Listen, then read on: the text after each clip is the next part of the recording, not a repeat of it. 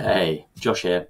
I'm going to do a super quick video on how to use uh, some of the settings in the EHAB platform. So on the bottom left, you can see settings, uh, and we have the thresholds tab. So this is where our risk matrix is stored, um, and this is where you can edit these thresholds if you would like. So we've got about 80 categories uh, that we categorize work into, and you can manually uh, edit these here 2018.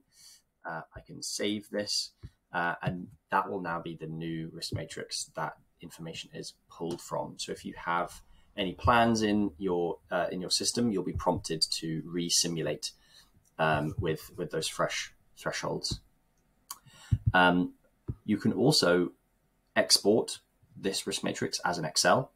And as long as you follow the same format that is in the Excel, you can edit on mass, you can change the names, you can add new risk um, categories as well.